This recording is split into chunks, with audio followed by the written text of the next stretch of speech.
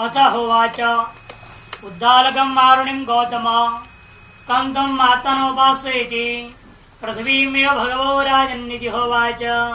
एष वै प्रतिष्ठा आत्मा वैश्वानर। यम् त्वम् आत्मानोपास्य। तस्मात् त्वम् प्रतिष्ठितोऽसि प्रजया च पशुभिश्च।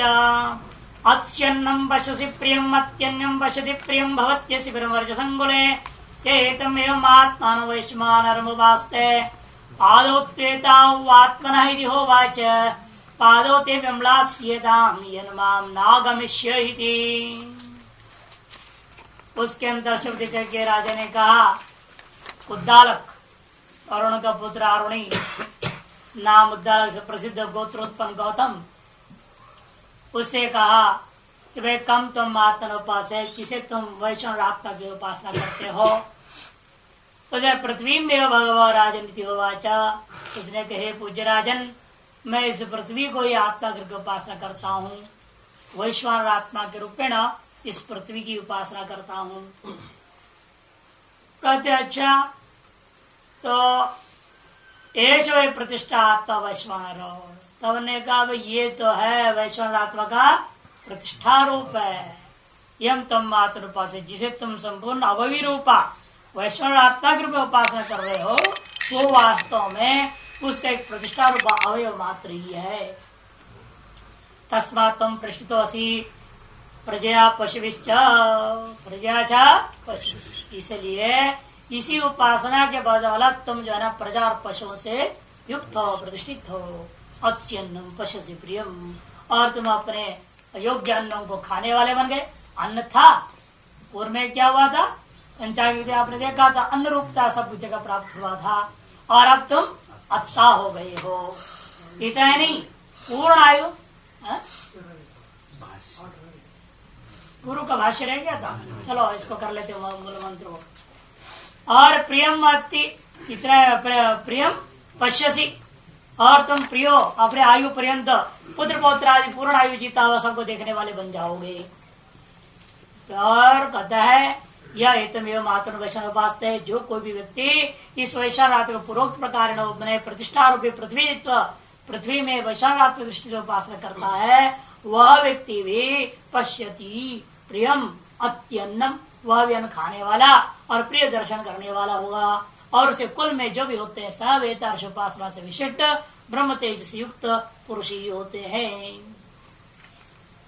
और अपने तरफ़ से आप कहता है पादव तो ये आत्मवाच किंतु ये तो केवल उस वैष्णव का पैर ही है। पादो तो विमलास्यताम जन्मम नागमिष्यति। ये तुम मेरे पास नहीं आए होते तो निश्चित तो ना तुम्हारा दोनों पैर प्राणहीन होकर के लूलापन हो जाए उसको तो लूलापन। दोनों पैर नहीं काम कर पोलियो। दोनों, पोलियो में भी होता एक पैर भी नहीं काम करता, ऐसा भी होता है। दोनों पैर नहीं काम करना यहाँ उसको लूला कर लंगड़ा अलग है ना, वो तो एक ही पैर खराब है उसका। इसे दोनों ही पैर गड़बड़ा जाए। उसको कहते हैं लूला। अतो होवाच। बुढ़िलम अश्वतराश्वम इत्यादि समान। शब्दार्थ तो सब जगह समान है। बुढ़िल नाम से अश्वतराश्व का पुत्र अश्वतराश्वी और व्याघ्र पद्धि भी कहते व्याघ्रवाद का शिष्य पुत्र होने से व्याघ्र पद्धि भी था। ऐसे कम तुम आत्मा एश वही रही आत्मा तो समानम कर दिया, सर्वार समान है। कहते हैं, अब आप तक वैश्वानर रही कैसे हो गया? धन से निर्देश कैसे कर दिया? ये रही आत्मा वैश्वानर। ये वैश्वान आत्मा का री है। कोई इसलिए शंका पूछ रहा है कि रही शब्द धनवाचक भी है। तो कहते कि नहीं नहीं, यहाँ पर जो है रही से वो नहीं लेना। अद्भ्यो अन्नम तथो धनम वो कैसे लेना? धन रूप में परंपरा आ जाए वो भी। धन रूप मान लिया जाए तो भी आपत्ति नहीं है लेकिन परंपरा, क्योंकि जल से अन्न होगा। अन्न से धन की प्राप्ति। तस्मात रईमान धनवान तुम पुष्टिमांश शरीर इससे तुम रईमान मैंने धनवान भी हो जाओगे और पुष्टिमान भी हो जाओगे शरीर से। पुष्टिश्चित अनियमितता और शरीर की जो पुष्टि है, वो भी अनियमित खाया पावा, ढंग से हजम हो जाए तो शरीर पुष्ट रहेगा। जब खाया पिया तो हजम होता नहीं, शरीर में लगता नहीं।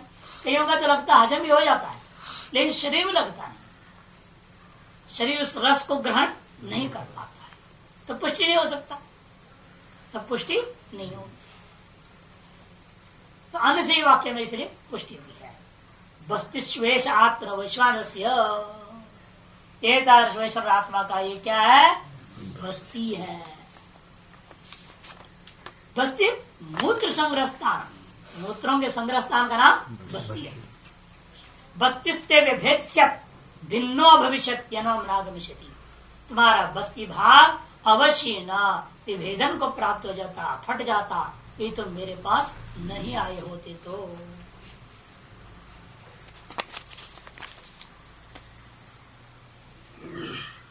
अतः होवाच उद्दालगम इत्यादि समान यहाँ भी वाक्य सब समानार्थ है प्रश्नार्थ वगैरह। पृथ्वी एवं भगवत भगव भगव, राजन होवाच हे पूज्य राजन, मैं तो पृथ्वी की उपासना करता हूँ आत्मा के रूप में। ये शवय प्रतिष्ठा पादो विश्वान ये जो है वैश्वात्मा का पैर के समान पैर है, जिस पर आप खड़े होते हो, वही प्रतिष्ठा है। प्रतिष्ठती ये न, इति प्रतिष्ठा जिसके माध्यम से आप प्रतिष्ठित होते हो, उसका नाम प्रतिष्ठा है। वो पैर। पादोति विमलास्यताम विमलान विमलान अभविष्यदान श्लतीभूतो कह दिया विमलानों का मतलब श्लतीभूतो ढीले पड़ जाएँगे। उसके प्राण नहीं रह जाता है, लटक जाता है दोनों पैर। पैरों से चल नहीं सकता। ये दुर्दशा उसका हो जाता। ये तुम मेरे पास नहीं आए होते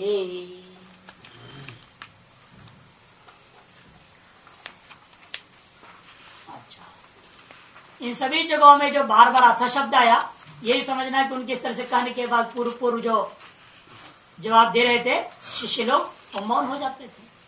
तब आगे को दूसरे से बोलते थे। प्रश्न पूछा लगते भाई तुम बताओ आप जितना इसने बताया, बता दिया।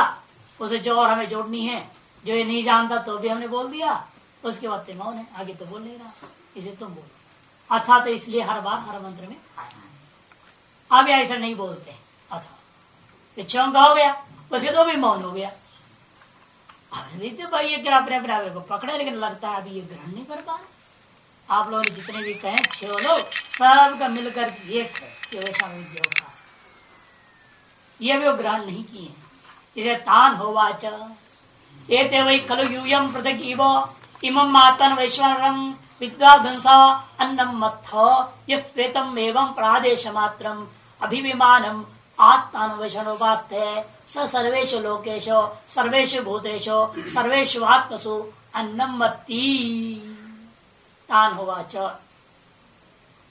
व्यस्त उपासना करने वाले उन समस्त ऋषियों से कहा समस्त उपासना करने के लिए राजा शुभति के, के कहता है ये ते वही खलु यूयम पृथक इव इमम आत्मान ये ते खलु ये जो है खलु और वही अनर्थक निपात करके लेंगे भाषा का और टेयर कहते हैं कि अनर्थक, पूर्ण रूप में अनर्थक कहना उचित नहीं है। और इसमें यहाँ थोड़ा अर्थ इस तरह से लिया जा सकता है। उनकी मिथ्या ज्ञानत्व को स्मरण कराना है। शिष्यों के अंदर जो मिथ्या ज्ञानत्व है, अवयव में जो अवयवित्व की जो भ्रांति है, उसको ज्ञापन करता है, वही और खलु। ऐसा वो अधिकार अध्यान कर ले रहे हैं। खैर, वही खलु को छोड़े ते यूयम। पृथक इव क्या इव का अर्थ एव। इवकारो अवधारणार्थक।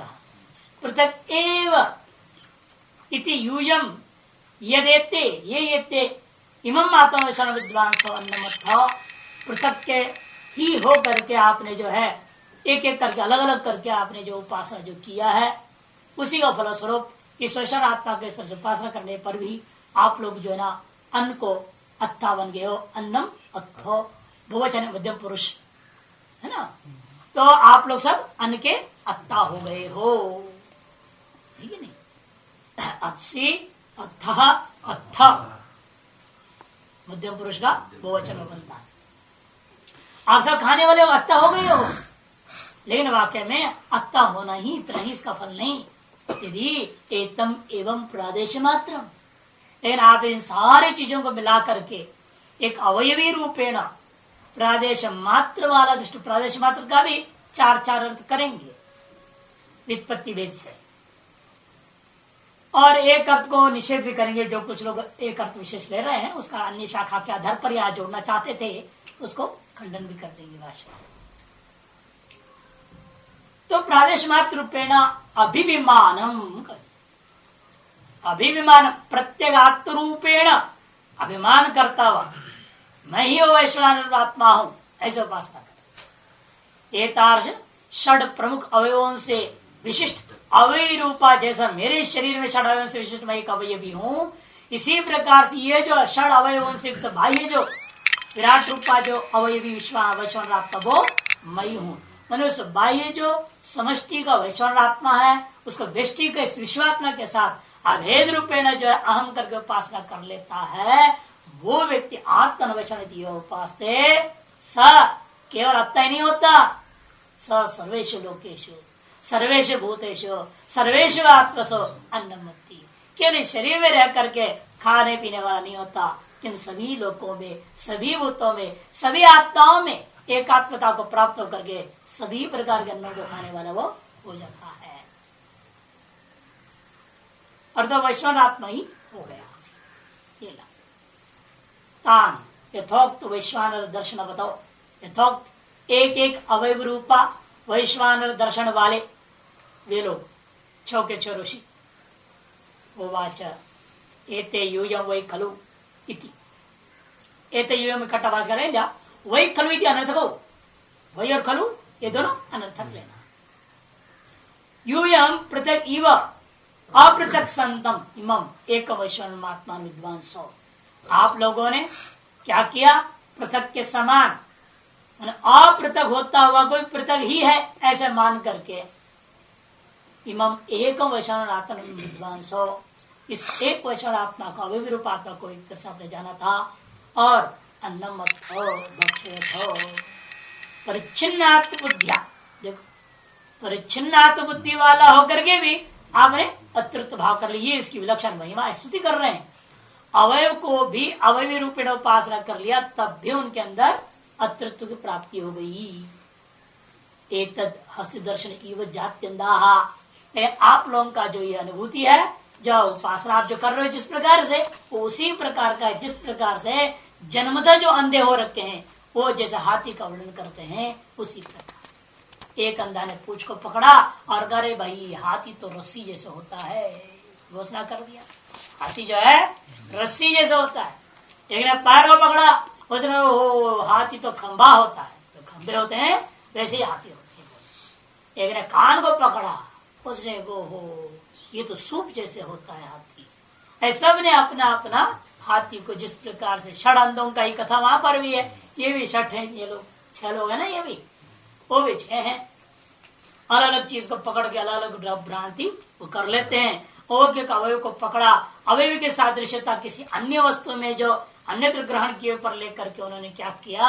उस अवयवी भावना कर लिए थे। उसी प्रकार से आप लोगों ने भी किया है। यस्तु लेकिन जो कोई व्यक्ति एतम यथोक्त अवयव एवं यथोक्त अवयवों के द्वारा कौन? मूर्त आदि प्रतिपादांतर विशिष्टम एकम प्रादेश मात्र। इन सकल अवयवों से विशिष्ट एक अवयवी रूपा। वो अवयवी कैसा है? प्रादेश मात्र अब प्रादेश मात्र व्याख्या करेंगे, देखिए। प्रादेशिक। प्रदेश एवं प्रादेश स्वार्थिकण है पहला जो जो देश देशा वर्णन है उन्हीं उन्हीं देशों को ले लेना। प्रदेश एवं प्रादेश। प्रादेश ही द्यू मूर्धादि पृथ्वी पदा पादांतरी अध्यात्म नियति न्यायते इति इस प्रकार से जिसके अध्यात्म शरीर को जाना जाता है। उस परमात्मा का स्थूल शरीर को इन बाह्य चीज़ों के द्वारा, इन छड़ अवयों के द्वारा जाना जाता जैसे आपका अपना का स्थूल शरीर को भी अभी नीचे से देख रहे हो ना? पैर से, धड़ से, बस्ती भाग से, सर से, आँखों से, इन्हीं चीज़ों के द्वारा आपके अपना बाह्य स्थूल शरीर को जिस प्रकार से ग्रहण करते हो, उसी प्रकार से उस निर्गुण निराकार विशिष्ट परमात्मा का बाह्य स्थूल शरीर को ईषण अवैध मूर्धा आदि रूप अवयव के द्वारा हम ग्रहण करते हैं। इसीलिए एक आत्मा का नाम हो गया प्रादेश मात्रा अथवा मुखादिशु व कर्णेशु अतृत नियति प्रार्थना। मात्र शब्द तो पहला कर दिया, ज्ञान रथ और अब कर दिया, नापने। मुखादिशु व कर्णेशु मुखादि कर्णों में मुखादि कर्णों में प्रकारांत से व्याख्या ये साक्ष्यतया मीयते अभी यहाँ कर्ण नहीं साक्षी रूपेण ले रहे अभी। साक्षी रूपेण ग्रहण कर रहे परिमाण अगले में लेंगे। तीसरे व्युत्पत्ति परिमाण अर्थ में जाएँगे। पहला वाला सीधा ज्ञान अर्थ में। और दूसरे दूसरे वाले में आपने लिया साक्षी रूप से। मुखाधिकरणों में जो विद्यमान अतृत्व को साक्षी भाव से ग्रहण करता है, उसका नाम प्रादेश मात्र हो अच्छा। नीचे दिया है यथोक्तेर आदिदैविक अवयव अध्यात्म प्रत्येगात्मी आदिदैविक अवयवों के द्वारा क्या करे हो? आप अपने इस जो शरीर के अंदर में अभेद करता हुआ प्रत्येक आत्मा में अध्यात्म में भी ग्रहण कर लेते हुई थी वित्पत्तिया पहला ये वित्पत्ति थी। दूसरी में तेषु ही प्रदेशेशु अयम अतृत्व साक्षित नियत मुखाधिकरण भूता प्रदेशों में अत्रिभाव से क्या बनाइए साक्षी अतृत्व के प्रति साक्षी रूपेण ही जो है अनुभव में आता है जो तत्व उसका नाम प्रादेश मात्र तीसरा द्यूलोकादि प्रतिबिंब प्रदेश परिमाणों व प्रादेश मात्र शब्द परिमाण मात्र शब्द परिमाण होता है इसलिए परिमाण अर्थ में होता है। इसलिए मात्र प्रत्यय ले लिया यहाँ पर। पहले मीन धातु लिया था। नियते नियते करके लिया। अब यहाँ पर जो है मात्र प्रत्यय मान लो। वह परिमाण अर्थ में होता है। द्यूलोक से लेकर के पृथ्वी पर्यंत लंबा चौड़ा इस प्रदेश के द्वारा नापा जा सकता है। जिस आज दैविक देव का स्वरूप परमात्मा का, उसी प्रकार तद अभिन्न होकर के ये अध्यात्म में भी ऊँचा को नापते ही लोग, पैर से लेकर के चोटी तक के नापते हैं ना। 150 सेंटीमीटर 155 सेंटीमीटर बोलते हैं। नापा, नापते भी हैं। इसलिए नाप अर्थ में भी प्रादेश मात्र बन सकता है। चौथा अर्थ करते हैं। प्रकर्षेण शास्त्रेण आदिश्यंति प्रादेश प्र और आदेश। पहले क्या आपने लिया था? प्रदेश एवं प्रादेश तीनों में वही अर्थ था। पहले तीन वित्पत्तियों में मात्र शब्द का अंतर बदलते रहे। प्रदेश प्रादेश रख लिया था। और मात्र शब्द का अर्थ, पहले मियते ज्ञाते ले लिया, मियते साक्षित अनुभूयते ले लिया दूसरे में, और तीसरे मात्र प्रत्येक कर दिया था। वह मात्र में अंतर करते गए, है नहीं?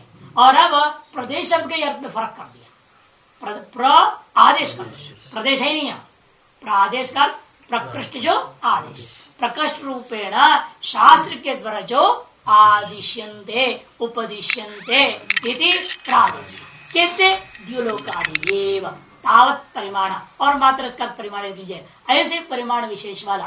मैंने शास्त्र के द्वारा उपदिष्ट प्रमाण से संपन्न जो है, परमात्मा का विश्वान स्वरूप है, और उससे अभिन्न मेरा अपना यह अध्यात्म स्वरूप है, ऐसे उपासना करने का नाम प्रादेश मात्र की उपासना है।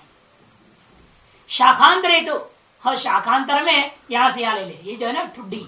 ठुड्डी से लेकर के ये जो केश प्रांत प्रदेश है जब केश आरंभ होते हैं, यहाँ से यहाँ तक को ले लिया? एक प्रादेश मात्र। उसी में कर दिया ऐसा दिलों की कल्पना करो, ध्यान करो, बैठ कर, चिंतन करो, धारणा।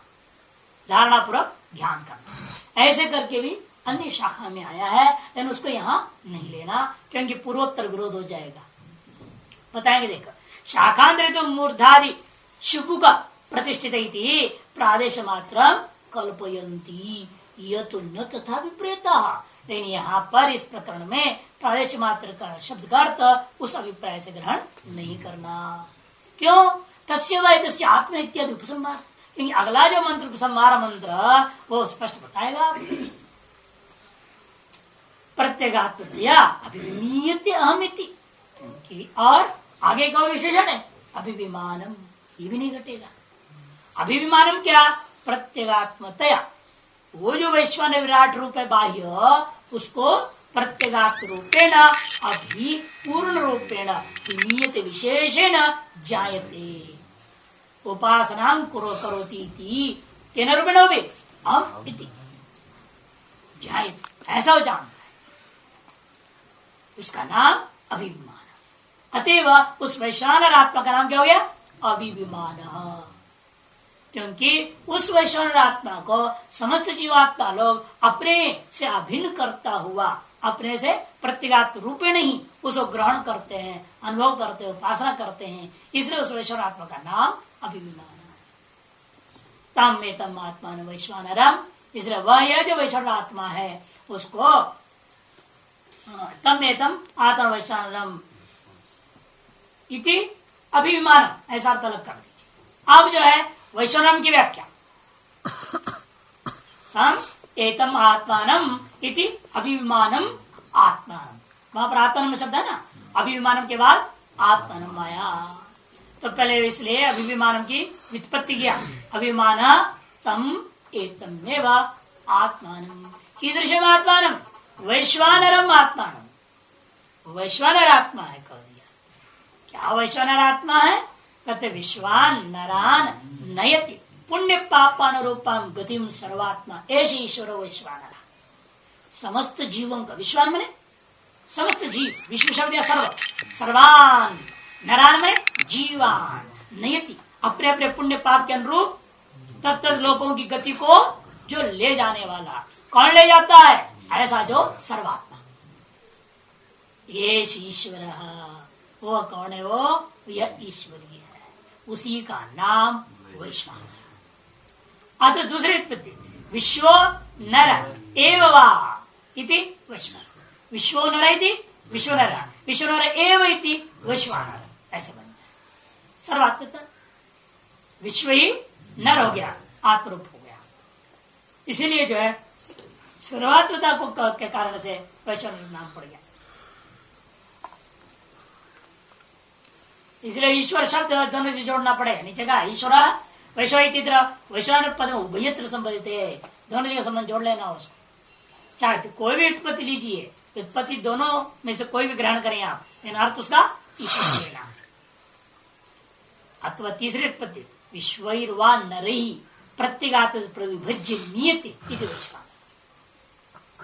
विश्ववा नरही विविध प्रकार के मनुष्यों के द्वारा, जीवों के द्वारा क्या किया क्या किया जा रहा है यहाँ? कहते हैं कि देखो, प्रत्यगात रूपेण प्रविभक्त करके अलग अलग करके, समय प्रकार जो है चिंतन किया जाता है, उपासना किया जाता है तम एवं तम एवं वेदार्श आत्मा को उपास उपास यह सो। अदन अन्नादि, जो ऐसा है, वह अदन अन्नादि सर्वेशु लोकेशु अदन अन्नम इत्यव अदन अन्न अदन करके पाठ है लेकिन अन्नम अन्नादि ऐसा होना चाहिए पाठ टीकाकार वह इसलिए सुधारते हुए करें अदन करके नहीं होनी चाहिए कहीं लेखक लेखक का भ्रंश हो गया प्रमाद हो गया है अन्नम अन्नादि ऐसा जो व्यक्ति होता है वो सकल प्रकार अन्न को खाने वाला हो जाएगा सकल प्रकार के उनको कैसे खाएगा विभिन्न लोगों में रह करके भी कैसे? तब कद्य सर्वेशु लोकेशु द्योलोकादिशु सर्वेशु भूतेशु चराचरेशु सर्वेशु लोकेशु मैंने द्योलोकाशु सर्वेशु। और सर्वेशु भूतेशु चर और चर सभी में व्याप्त होकर के सर्वेशु आत्मसु, शरीरेन्द्रिय मन बुद्धिशो सभी जो शरीर आदि प्रत्येक में व्याप्त होकर के आत्मकल्पना व्यपदेशा इन सकल अवयव में भी आत्म कल्पना जो है, उपदेश का ग्रहण करना, प्राणी नाम अन्नमति, इस प्रकार सरल प्राणियों का वन को खाने वाला हो जाता है। कौन? स वैश्वानविद सर्वात्मा, सन अन्नमत। इसलिए वह वैश्वान व्यक्ता सर्वात्म भाव को प्राप्त करके इस प्रकार से अन्न को खाने वाला होता आत्मा बन जाता है। न यद अज्ञा पिंड मात्र अभिमान सनिधि अज्ञान के समान नहीं, जो अपने पिंड मात्र का अभिमान करके खा रहा है। सभी का यही हाल पिंड मात्र का अभिमान करके खा रहे हैं। इसे उनके खाने से दूसरों किसी को तृप्ति नहीं होती। खिलाने वाले को भी तृप्ति नहीं होती। नहीं। वो परमात्मा ने जब एक चावल का दाना खाया, दस हज़ार इसे डकार लग गए। लेकिन विश्वम्भर इसलिए उसका नाम पड़ा। वही वैश्वान विद्या का फल है। जो इस वैश्वान की उपासना करते हुए सर्वात्म भाव को प्राप्त कर लेते हैं, उनके अपना खाने से सभी को तृप्ति प्राप्त हो जाती यदि भावना करे वो और खा ले तो अवश्य सबको तृप्त हो जाता यदि भगवान रोज खाते थे, लेकिन बहुत भूखे भी सोते थे, वो बात अलग है। क्यों? भावना नहीं आती। उस भाव में होना चाहिए ना। जैसे वहाँ उन्होंने भावना किया कि सब ऋषि जो है, मेरे इस एक जूठान खाने सबका पेट भर जावे। भावना करते सर्वात्म भाव से सकल ऋषि भाव को अपना करके उन्होंने जैसे खाया सब तृप्त हो गए। इसलिए यहाँ सर्वात्म भाव अपन इसलिए सर्वात्मा सन, ये कह दिया। इन सर्वात्म भाव कौन कर पाए? बड़ा आसान नहीं है ना ये काम। सर्वात्म भाव में स्थित होकर खाना खा रहे तो अवश्य सबकी तृप्ति हो जाए। एक एक खाने से सबकी तृप्ति। लेकिन ऐसा हो जाए तो फिर तो संसार में बड़ा काम व्यवस्था भी कर जाए संसार की व्यवस्था भी कर जाए एक घर में एक चूल्हे में भोजन बन गया और एक जने खा लिया, बात खत्म। हो गई राशन की दुकानें लगेंगे, न तेलों की फैक्ट्रियाँ चलेगी, न कुछ होएगा। अरे संसार करेगा क्या फिर बाद आपस में लड़ेंगे पड़ेंगे और क्या करेंगे तृप्त तो हो गए उन्हें कुछ करना तो पड़ता है नहीं। तो खाली रहेंगे तो क्या करेंगे खाली मन शैतान का काम। आज लड़ेंगे, उड़ेंगे, और कोई ध्यान भजन तो करना है नहीं। तो इसीलिए भगवान ने व्यवस्था दे दिया, कोई सर्वात्म भाव से खाना ही न खावे। ऐसे सबकी बुद्धि बना दी। कोई वैशाल विद्या की न उपासना कर पाता है, न सर्वात्म भाव को प्राप्त करता है, न सर्वात्म भाव में स्थित होकर अन्न को ही खाता है। उन्होंने केवल अपना लीला कर दिखा दिया श्रुति प्रमाण तो साबित हो ही गया, उस लीला से श्रुति अप्रामाणिक हो जाती नहीं तो। कहते उस लीला की तरह भगवान ने दिखा दिया, श्रुति की तरह प्रामाणिक है। और जो है, सारा संसार में असर्वात्म भाव से भोजन पानी की व्यवस्था कर दिया अरे सभी जो हम लोग अपने अपने शरीर को ही आत्मा मान कर केवल खाते अब एक और बात कह रहे हैं, देखिए कस्माद एवं ऐसे सर्वात्म भाव से कैसे हो जाता है?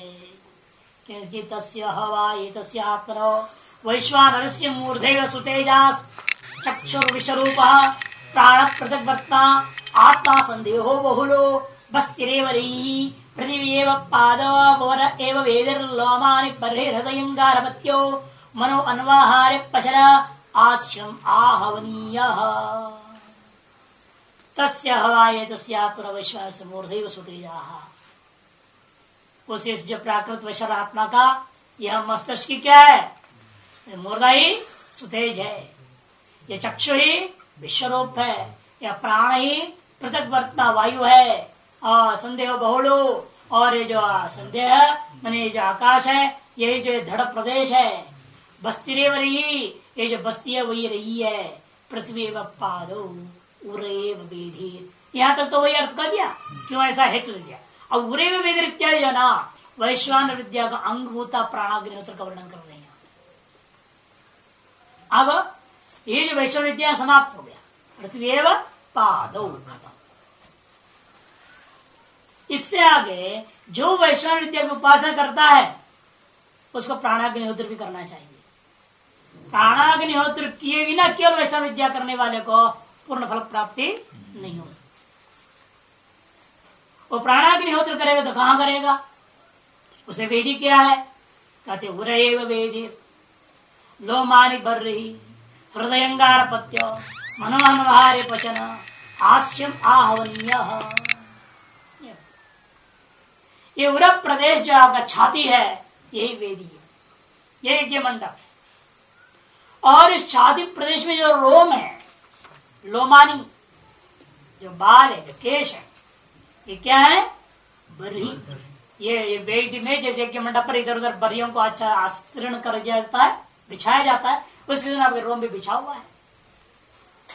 और हृदयंगार पत्य इसके अंदर जो कुंड के समान कुंड है, इस अंदर भीतर में यज्ञ मंडप के भीतर, जैसे कुंड होता है, वैसे यहाँ अंदर विद्यमान जो हृदय हृदय रूप पिंड है, वह पिंड विशेष क्या है? वही गार्यपत अग्नि के सदृश है।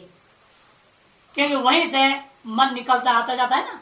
जैसे गार्यपत्य अग्नि से अनवार दक्षिणाग्नि की ओर अग्नि को ले जाया जाता है। इससे गमनागमन रूपा, आहरण रूप सादृशता को लेकर के हृदय से निकलने वाला जो मन है, उसको अनिवार्य पचन कर दिया। और मन से आया आपको, कहा से? अग्नि के आवरी अग्नि बनता है।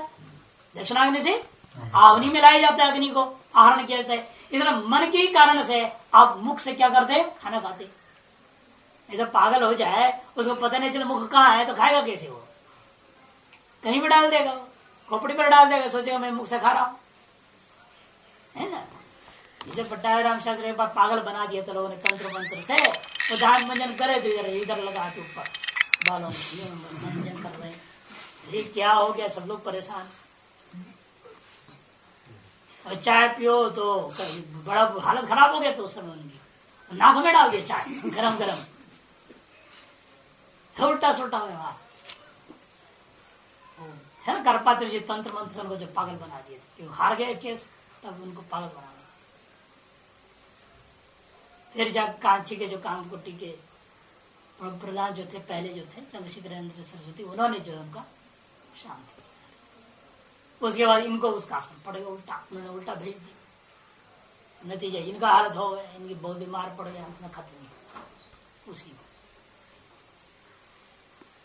तो इसीलिए मन ही कारण है ना, आपको मालूम है कहाँ डालना है, कहाँ नहीं डालना है? सब सही ढंग से चल रहा है कि नहीं चल रहा है? बॉल जो फेंक देते हैं, दक्षिण भारत में जैसे लोग भोजन पाते हैं, यूँ कर लड्डू जैसे बनाते हैं तो करेक्ट चला जाता करेक्ट कहीं इधर उधर नहीं लगता थोड़ा सा गड़बड़ नहीं होता। नहीं? आपने भी देखा होगा। हाँ? कई जगह देखने पर मिला। कई लोग ऐसे। कट से डाल देते क्यों? मन सही है ना? कंट्रोल में चल रहा है सारा गाड़ी।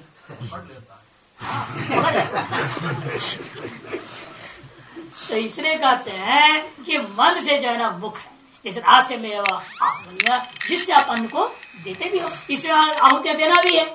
आगे जो प्राण स्वाव वगैरह बोलेंगे तो आहुतियाँ भी इसे मुख में डालना है। अतएव ये आहुनि अग्नि कह दिया गया।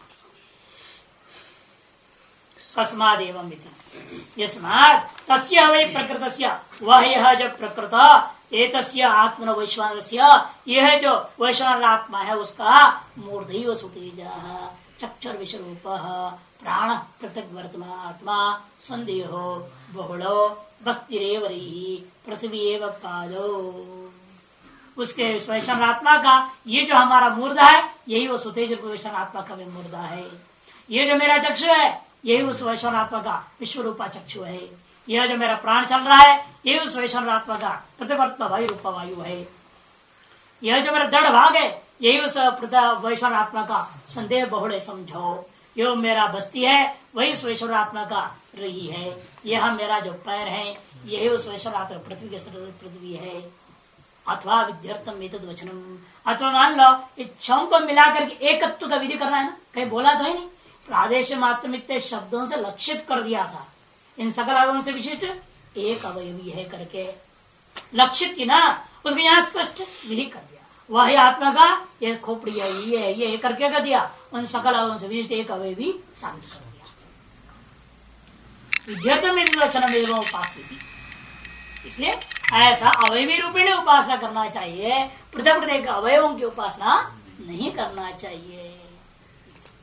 इस प्रकार से वैष्णव विद्या पूरा हो गया, प्रधान विद्या कथन कर दिया गया।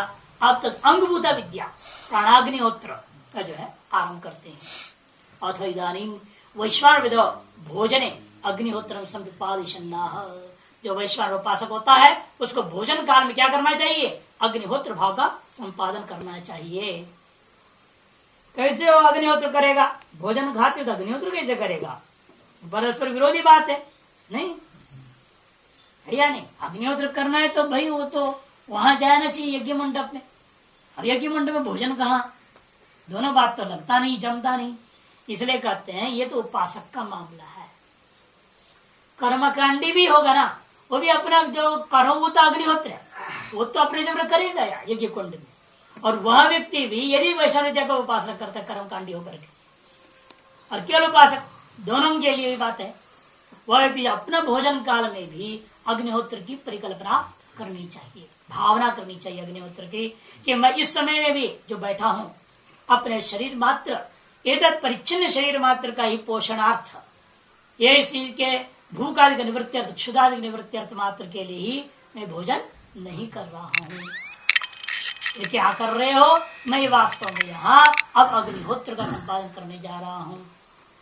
उस वैश्वान आत्मा का ही जो पृथक वर्तना रूपा वायु बाही है वही प्राण रूप में इसके अंदर विद्यमान से, इस प्राण को स्वयं के अभेद करता हुआ, ये जो खा रहा है, वह मैं नहीं खा रहा हूँ, किंतु वैश्वानर को ही मैंने अर्पण किया।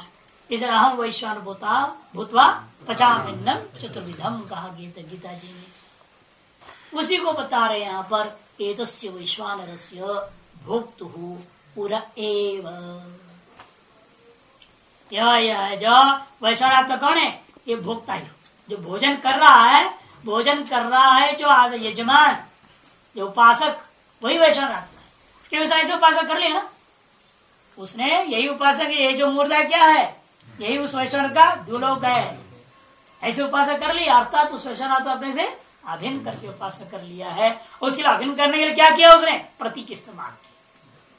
इसे साक्षात अंग्र उपासना नहीं है प्रतीक उपासना इसने कहा गया ये प्रतीक देखा। और इसमें कहा कि जो मेरा अंग है, ये उस वैष्णव का सुतेज इत्यादि रूपा है। इस तरह से वो ग्रहण करते विद्या है। अतः अपने आप को उसने वैश्वर आत्म रूपेण भेद करके ग्रहण किया है। इसे कहते तस्य, ये तस्य वैश्वान रस्य भोक्तु एव वेदी आकार सामान्य ये जो वरक प्रदेश है, छाती है यही आकार की सादृशता को देखते हुए वेदी के समान विधि माना जाता है।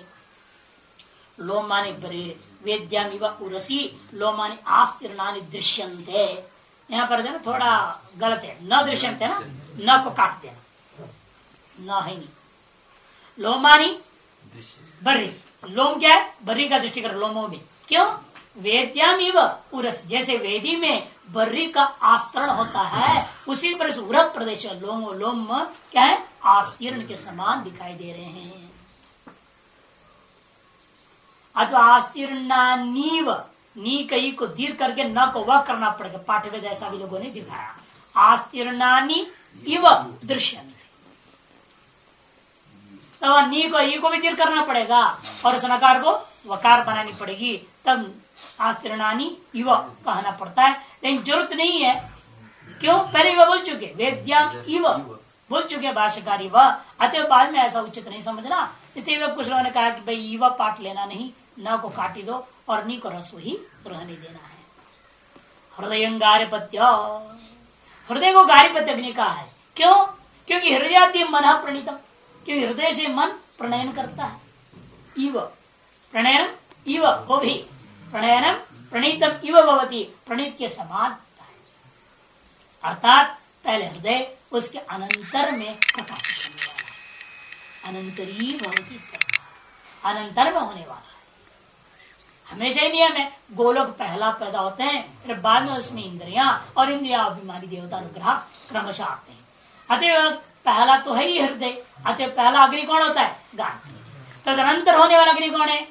दक्षिणाग्नि। अनिवार्य पचन जिसको दक्षिणाग्नि कहते हैं। वो अनंतर होने वाला है। इसलिए यहाँ पहला हृदय, उसके अंदर होने वाला कौन है? मन। इसे मन में ही आपको दक्षिणाग्नि अथवा अनिवार्य पचन की दृष्टि करनी चाहिए।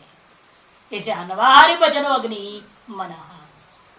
आस्यम मुखम आवनीय युवा आवनीय आस्य कहते मुख को। वो आवनी के समान आवनी है। क्यों? हुए अन्नम क्योंकि जिसमें सकल आहुतियों को दिया जाता है, उसी का नवावनी है। और मुख में भी आप क्या कर रहे हैं? आशी में भी सकल प्रकार के जो अन्नों को क्षेपण करते हैं। आशी नाम क्यों पड़ा असु क्षेपण असु क्षेपणे दासन नेत होकर के आश्यम बन गया। आशय मतलब जिसमें सारी चीज़ को प्रक्षेप करते हैं। लड्डू, पेड़ा, हलवा, दाल, रोटी, सब्ज़ी सब डाल दिए नहीं डाल रहे? डाले जा रहे, डाले जा रहे। क्षेपण किया जाता है। इसलिए जो है कुछ लोग तो खाते होते फेंक देंगे क्षेपण करना है क्षेपण कर दिए, स्वाहा अरे, इसमें बड़ा विचित्र विचित्र विचार है। लोग कहते हैं कि भाई, वो मुँह में हाथ डाल दे तो जूठा हो गया। अरे, मुँह में हाथ लगा करके खाओगे, हाथ तो जूठा हो गया। तो दूसरा फिर थाली में हाथ डाल दिया। अरे जूठा हाथ डाल दिया। सारा हविष जूठा हो अब फिर आहुति कैसे दोगी? तो सब झूठे हो गया। वो आहुति दे नहीं सकते इसलिए कहते हैं कि आपको ये ऊपर फेंक रहा आहुति झूठा नहीं होगा ना, सब स्वच्छ ही रहेगा। जैसे वहाँ पर भी अग्नि में भी क्या रहता है? जब अग्नि में देते हैं, अग्नि में छुआ नहीं जाता है। वो दंड जो होता है, ऊपर से गिराया जाता है। अग्नि से स्पर्श नहीं होनी चाहिए। अग्नि से जो दंड का स्पर्श हो गया, इसका मतलब उस दंड से फिर दो बार हविष डाल नहीं सकेंगे एक देवता के नाम पर जो दिया गया तो उस देवता को जूठा हो गया। फिर दूसरे देवता को वही झूठा खेला उससे स्पर्श कर भी झूठा हो गया। जो बाकी है, वो झूठा हविष को अन्य देवता को दो देवता नाराज़ हो जाएँगे अमुक देवता को जूठा मेरे को खिला दिया। जैसे आप किसी के मान लो, चार रसगुल्ला आपने ज़्यादा डाल दी थाली में, और एक ने कहा मेरे को कम पड़ गया, मेरे को और दो। तो क्या उसकी थाली से उठा के हाथ डाल दोगे? खा लेगा वो मान लेगा। ही? को दो रसगुल्ले ज़्यादा ज़रूरत पड़े। और उधर मेरे यहाँ ज़्यादा हो गया, वो खा रहा था। उसने ज़्यादा ज़बरदस्ती डाल दी, उधर मेरे ज़्यादा डाल दिया, उसको ज़रूरत पड़ रहा चल यहाँ से ताड़े वो तो पत्थर छोटे उस पत्थर में डाल दो। लड़ाई हो जाएगा, कोई नहीं खाएगा वो। क्या उसकी झूठा हमको दे रहा? रसगर से लाके तो बोलेगा। नहीं है तो कोई बात नहीं, लेकिन उसकी झूठा नहीं डालता तद्वत यहाँ पर अन्य देवती है झूठा को हमारे कैसे खिलाओ दूसरा देवता नाराज़ नहीं होगा? सर एक भ्रष्ट भ्रंशित हो जाता है। इसलिए कि लोग कहना है कि भाई मुँह को छू के नहीं खाना चाहिए। पास में ले जाओ, और इसे डाल दो। और फिर भले अंत में चाट लो। वही लोग मैंने कहा उन लोगों तुम लोग ये बात जो कहते हो कि ठीक है, तुम्हारा सिद्धांत यहाँ तक तो मैं मान लूँगा। छूना नहीं चाहिए। अंत यूँ ये पूरा तुम चाटते ये क्या? ये कौन सा विधि है भाई? ये तो स्वादुता है ना। ये तो आस्वादता के कारण से तुम करते बिना चाटे तेरे को तृप्ति नहीं होती। तो हमने एक रास्ता और है। वहाँ पर अवजन यति बोलते अवनयति है ना? वैसे यहाँ पर अवनेजन कर लेंगे हम। हाथ को में डाला, खिला दी, और उससे थोड़ा हाथ से खाने में तृप्ति होती है ना? तभी तो तुम अंत में छाटते हो। हम अरावती में छाट लेंगे। अरावती में हाथ लग रहा है, फिर थोड़ा पानी में ढुको दो हाथ। ये तो बड़ा मुश्किल है। लगता है हाथ धो फिर खाली बोलेंगे। ये तो समस्या है। तुम्हारे यहाँ भी समस्या है, खुद वहाँ भी समस्या है। दोनों पद्धति, सदोष पद्धतियाँ हैं। चाहे उत्तर भारतीय हो चाहे दक्षिण भारतीय पद्धति हो सदोष हो गया। इसलिए प्राणाग्निहोत्र निष्पान करना ही कठिन है स्थिति में। या तो तुमने अपना छोड़ो, चाटने वाली बात। हाथ चाटना तुम्हें छोड़ना पड़ेगा। और हर बार में जो मुँह में लगाना, ये भी छोड़ेंगे। तब जाके प्राणाग्निहोत्र समय संपादन हो सकता है, नहीं तो नहीं हो सकता। तो ऐसे मैंने कहा पंच आवतियों तक के लिए तो ऐसा कर सकते हैं। दो दो दाने तो डाली जाती है। इसे पूरा हाथ डालने की क्या ज़रूरत है? इसे इनका कहना है कि भाई, हुई अस्मिन अन्नमिति आश्रय। आहवनीय नाम पड़ गया, अतएव आस में आवनी की दृष्टि करनी चाहिए। तो कैसे करें वो प्राणाग्निहोत्र? इसके लिए आदर अधिकरण एक अधिकरण निर्णय दिया है, विचार किया कि ये क्या प्राणाग्निहोत्र? भोजन करो, ना करो, दोनों टाइम करनी चाहिए क्या? कोई पक्षी कहता है, अब भोजन भी प्राणाहुति करनी चाहिए। भोजन ना हो तो बैठे बैठे प्राणाय स्वाहा करो। कुछ करना पड़ेगा ना? आवाज़ तो करनी पड़ेगी मैं खा रहा दिखाना पड़ेगा ना। जब भोजन नहीं प्राप्त हो, एकादशी है, बिल्कुल पानी रहना है तुम्हें, तभी प्राणाग्निहोत्र करना चाहिए, पूर्व पक्ष बोलता है। तब सिद्धांत वहाँ आदर अधिकरण में निर्णय दिया कि नहीं नहीं, कोई ज़रूरत नहीं। क्योंकि आहुति अन्न की होगी। अन्न के बिना क्या चुम करने से थोड़ा मुँह से आवाज़ करने से खालिया हो जाएगा। ऐसे सब ड्रामा नहीं चलेगा। इसलिए भोजन सत्य प्राणाग्निहोत्र नास्ति चेत अग्निहोत्र अंग का लोप क्या आशा पूर्व पक्ष कहता है कि वैष्णव जगह अंग है। हम उस दिन उपासना तो किए अंगानुष्ठान नहीं हुआ। वही सवेरे उठा, नहा धोने के बाद पूजा पाठ करके वैष्णव विद्या का चिंतन किया, उपासना कर लिया। उपासना करने के बाद भोजन नहीं। भोजन नहीं है तो यदि आप प्राणाग्निहोत्र नहीं अनुष्ठान करोगे, विद्या का अंग का अनुष्ठान नहीं हुआ। अंगलोपे अंगी में क्या हो गया? प्रतिभा लग जाएगा। अंगी का लोप हो जाएगा। ऐसा पूर्व पक्ष का कहना है। लेकिन यहाँ पर वैसा नहीं है। ये जो विद्या वेशन विद्या का उस प्रकार का अंगांगी भाव नहीं है, जिस प्रकार अन्य कर्म कांड में होता है, एक अंग का लोप होने से अंगी में दोष आ जाए, उस तरह की यहाँ समस्या नहीं है। और पहले भी गायत्री विद्या में भी बात कही गई थी, इसलिए सारी बातों को वहाँ भी जोड़ लेना पड़ेगा। गायत्री विद्या में भी इनको ग्रहण कर लेना चाहिए। प्राणाय स्वा इत्यादि वहाँ भी था ना, गायत्री विद्या में भी कहा था। गायत्री विद्या में भी ये बात का गाय जय त्रायते गयान थी गायत्री प्राण कर लिया और प्राण के लिए सभी ने आहुतियाँ दी। वहाँ प्राणाग्निहोत्र का वर्णन गाया था तो वहाँ पर यही क्रम से इसलिए आहुतियाँ देनी पड़ेगी, जैसे यहाँ बताया जा रहा है पहले दिया है आपका 204 से 208 तक है। गायत्री विद्या के हमें पृष्ठ संख्या 204 से 208 तक पहले विचार हो चुका है, उसको दोबारा संक्षिप्त जा रहा है। दोनों को जोड़ लेना पड़ता है। और ब्रह्मसूत्र संख्या यह है 40 और इकतालीस में आएगा, आदराधिकरण।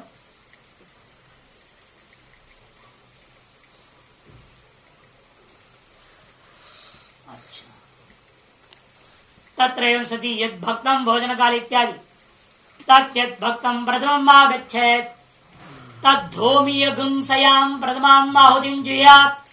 ताम जुयात प्राणाय स्वाहेति प्राणस्तृप्यते। प्राणस्तृप्यते, प्राणे तृप्यति, चक्षुस्तृप्यति चक्षुस्तृप्यत्य तृप्यत्यादित्यस्तृप्यति, आदित्य तृप्यति दिवि तृप्यन्त्यां यत् किञ्चित् यौश्च, आदित्य च प्रतिष्ठितस् तत्तृप्यते, तस्य तृप्तिं तृप्यति प्रजयाप्यशिबिरन्नाद्येन तेजसा प्रवर्तसेन इति। तत्यत् भक्तम पूर्व सिद्धांत के कारण वैश्व उपासक का कर्तव्य भूता प्राणाग्निहोत्र। है वो क्या करें तत्यत भक्तम प्रथम गच्छे भोजन के समय जो कुछ बन पहले आपके सामने आवे। तद होमियम। समझो, ये हवन का माल है। सयाम प्रथमा आहुति अतएव वह भोक्ता जो पहली आहुति दे, अपने मुँह में डाले ताम जुहियात, उसको इस मंत्र से हवन करे प्राण स्वाहा इति। और क्या भावना करे? प्राण तृप्यति, भावना ऐसे करो कि इस आहुति से, इस शरीरस्थ प्राण के साथ साथ वैश्वात्म साधन होने के नाते, समस्त जो पृथक वर्ता वायु ही तृप्त हो गया। और प्राण के तृप्त होने से चक्षु तृप्त हो गया। चक्षु का तृप्त होने से, उसका अभिमान आदित्य तृप्त हुआ। आदित्य आदित्य का तृप्त होने से प्रतिष्ठान में द्व्यूलोक तृप्त हो गया। द्व्यूलोक का तृप्त होने तृप्त्याम जो कुछ भी द्व्यूलोक और आदित्य, इन दोनों को स्वामी भाव से अधिष्ठित है। इन दोनों को स्वामी भाव जो जो अधिष्ठित हो जाते हैं, वह भी तृप्त हो जाता है। तृप्ति तस्य और उसके तृप्त होने पर स्वयं भोक्ता तृप्त हो जाता है। तृप्त तस्नु तृप्तिम तृप्यते। प्रजा तेजसा प्रवर्त सेना वह स्वयं भोक्ता प्रजा पशु, अन्न आद्य तेज, और ब्रह्म सामान्य तेज, और विशेष तेज के द्वारा अपने आप को तृप्त कर लेता है। ओम।